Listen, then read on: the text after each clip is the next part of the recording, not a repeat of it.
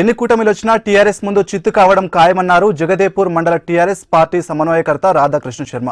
కాంగ్రెస్ టీడీపీల అనైక్యత పొత్తును ప్రజలు గమనిస్తున్నారని ఎన్నికల్లో తప్పకుండా బుద్ధి చెప్తారని అన్నారు.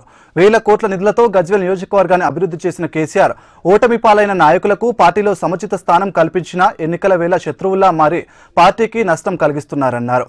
అభివృద్ధిని కాంక్షించే నియోజకవర్గ ప్రజలు కేసీఆర్ను అధిక మెజారిటీతో గెలిపిస్తారని ధీమా వ్యక్తం చేశారు.